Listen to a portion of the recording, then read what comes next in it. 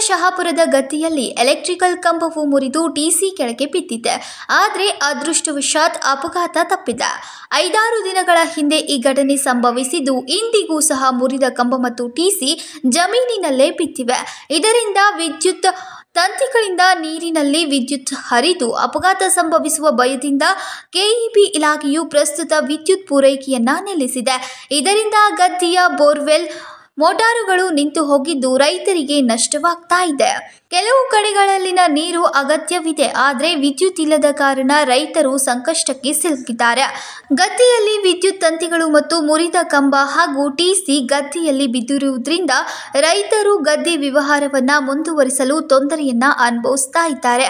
ಆದ್ದರಿಂದ ಸಂಬಂಧಪಟ್ಟ ಇಲಾಖೆ ಈ ಬಗ್ಗೆ ಗಮನ ಹರಿಸಿ ರೈತರ ಸಮಸ್ಯೆಯನ್ನ ಪರಿಹರಿಸಬೇಕೆಂದು ರೈತರು ಬೇಡಿಕೊಂಡಿದ್ದಾರೆ.